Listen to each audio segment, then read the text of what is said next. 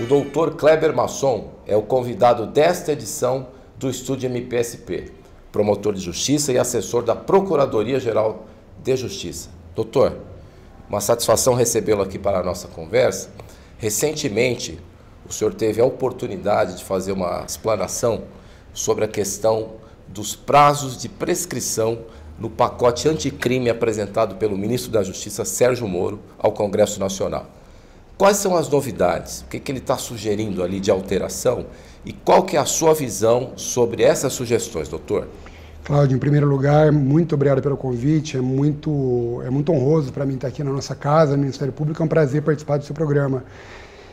É, o projeto anticrime ele traz algumas propostas de mudanças no Código Penal no, no, campo envolvendo a prescrição. O projeto ele já parte de uma impropriedade, ele sugere medidas para evitar a prescrição. Hum.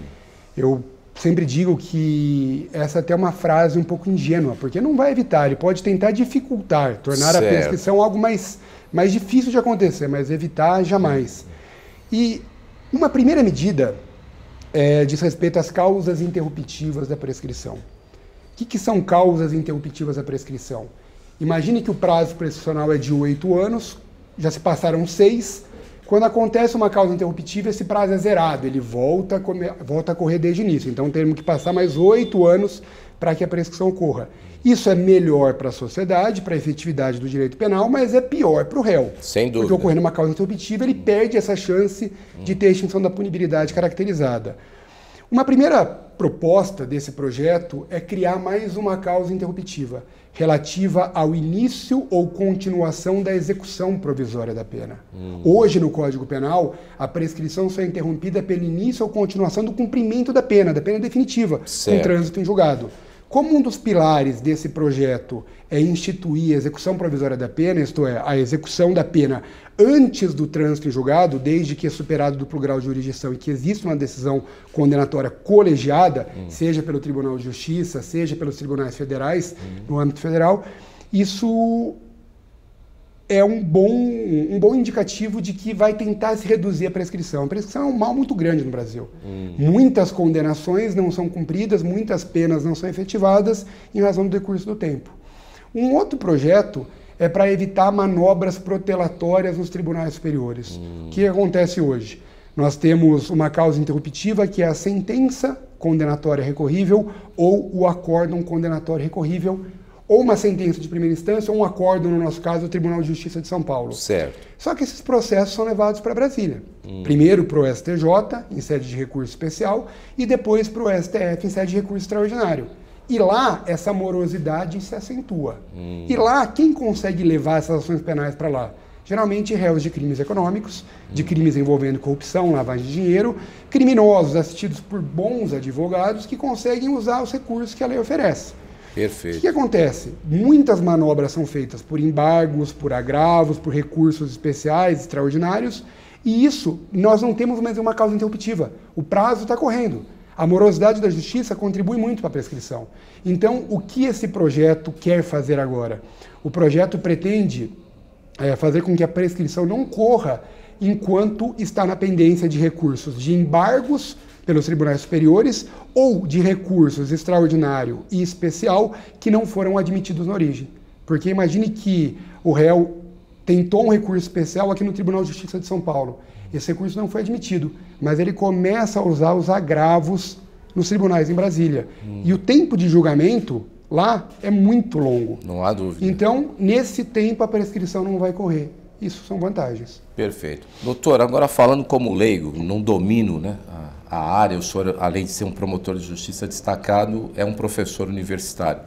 Do ponto de vista da sociedade, não seria mais interessante não haver prescrição e ponto final? Onde na filosofia do direito essa se acha sustentação para essa questão da prescrição? Tá. Cláudio, então, nós, nós estamos no Brasil né, no terceiro Código Penal. Tivemos um Código Criminal do Império, um Código Penal Republicano de 1890 e o atual Código Penal que é de 1940. Com exceção desse Código Criminal do Império de 1832, lá as penas não prescreviam, não existia prescrição. A partir do Código Penal Republicano, a prescrição foi implantada no Brasil como regra geral. E ela é até prevista indiretamente na nossa Constituição Federal. A Constituição diz que somente dois crimes têm as penas imprescritíveis: o racismo e a ação de grupos armados, civis ou militares contra o Estado Democrático de Direito e a ordem constitucional. Então, indiretamente, conclui que se essas, se essas penas não prescrevem, todas as demais prescrevem. Perfeito. Para que, que serve a prescrição? Em que contexto ela entra que a população deve entender? Essa prescrição, em primeiro lugar, ela busca proporcionar segurança jurídica não apenas para o criminoso, para as pessoas em geral, para o inocente também. Imagina que uma determinada pessoa se envolveu, ou ela pelo menos suspeita, armaram um crime para ela, com 18 anos de idade.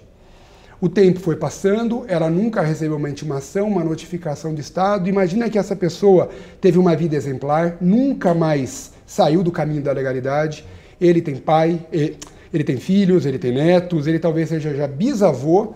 Com 90 anos de idade, a polícia bate na casa dele. Fala: olha, nós viemos aqui para cumprir, nós viemos aqui para cumprir mandado de prisão. O senhor está preso. Mas eu estou preso por qual motivo?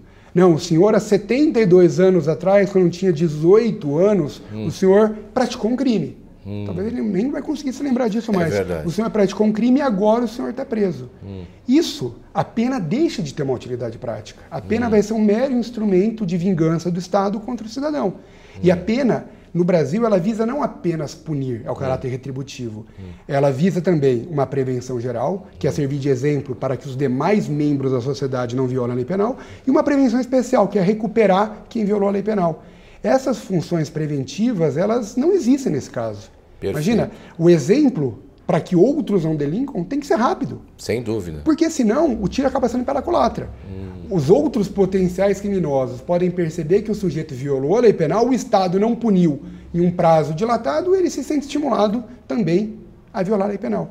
Então a prescrição busca proporcionar segurança jurídica, estabilidade, certeza para as pessoas em geral. A gente vai lá na, na Grécia, né, falar que ninguém pode ter uma espada de Damocles, né, hum. voltada na sua cabeça a vida inteira sobre o rio, com esse poder do Estado de punir a todo tempo. Perfeito. Agora, doutor, por outro lado, não seria interessante que a justiça combatesse essa questão da morosidade, que sim, é um problema patente sim, né, sim. que nós temos? Qual a sua opinião sobre isso, doutor? Eu costumo dizer o seguinte, né, a prescrição no Brasil ela acaba sendo uma busca a qualquer preço pela impunidade e muito mais por culpa do Estado.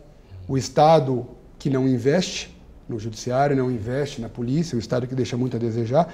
Quando eu falo Estado, poder público como um todo, né? não um Estado específico, União, Estado, município, enfim. É, é uma culpa do poder público, é uma culpa do legislador que quer ter aí uma inflação legislativa, ele quer criar um monte de crime e na verdade não usa isso para nada, seria muito mais interessante condensar isso, filtrar e pegar o que realmente interessa para a sociedade, hum. para poder, para que os operadores do direito possam centrar sua atuação nos casos que a sociedade realmente depende. Hum. E a prescrição, Cláudia, ela, ela precisa acabar existindo até para ser um puxão de orelha no Estado. Hum. Para estimular o Estado a ser minimamente eficiente. Perfeito. Que se o Estado já é omisso já é moroso, o Estado, justiça, né? Hum. Existindo a prescrição, eu tenho certeza que se a prescrição não existisse, o Estado ia cruzar os braços e deixar para depois. Olha, eu não posso pegar agora, depois eu pego. Perfeito. Doutor, é, como, eu, como eu disse anteriormente, o senhor fez uma bela explanação sobre a questão da prescrição, mas o pacote ele é amplo, né? ele tem é, diversos objetivos. De maneira geral, o senhor acha que uh, o Ministério da Justiça acertou, né? O saldo é mais positivo, mais negativo? Qual a sua visão geral sobre a proposta? Tá. Então, no próprio pacote da prescrição, faltou coisa ali. Né? Uhum. Você vê que faltou uma reflexão. Um exemplo, nós temos no Brasil uma excrescência jurídica chamada prescrição retroativa. Hum. Isso a gente brinca. É uma jabuticaba no direito penal brasileiro. Jabuticaba porque só existe no Brasil. Só que. Nenhum outro país, por mais que se preze pela impunidade, por mais que seja um país que não preza pela efetividade do sistema penal, do, do sistema penal consagra esse instituto. Só o Brasil. Hum. O Brasil é assim, é uma pressão retroativa hum. que, enfim, essa sim favorece a impunidade, principalmente dos poderosos, dos corruptos, dos lavadores de dinheiro. Mas assim, pegando o projeto como um todo, o saldo é positivo, porque toda e qualquer medida que busque combater de uma forma a criminalidade no Brasil, que está tão fácil ser criminoso no Brasil, infelizmente, é verdade. todo e qualquer projeto ele tem um saldo positivo. Só que eu particularmente entendo que o projeto deixa a desejar em vários pontos. Hum. Ele poderia ter, ele poderia é, ter demorado um mês a mais para sair, poderia ter uma reflexão um pouco melhor, poderia abordar pontos importantes que foram esquecidos, poderia ter sido trabalhado de uma forma mais, mais adequada. A impressão que fica é de que era a, uma propaganda de governo. Então, tem que vir logo. Hum. Tem que vir logo, então vamos de qualquer jeito. Talvez se ele tivesse tido uma reflexão um pouco maior, tivesse trabalhado junto à comunidade jurídica, com mais especialistas, de uma forma mais cautelosa, é, mesmo no seu tempo de aprovação, ele acabaria sendo mais rápido, mais eficaz. Ele já nasce, se ele for aprovado do jeito que está, hum. ele deixa muitas brechas que não deveria ter ficado para trás. Reflexões, aliás, doutor, que o Ministério Público de São Paulo vem fazendo, né? E o Procurador-Geral de Justiça, Jean Paulo Ismano, já anunciou que não só as suas propostas, como propostas de colegas do senhor, vão ser encaminhadas a Brasília, né?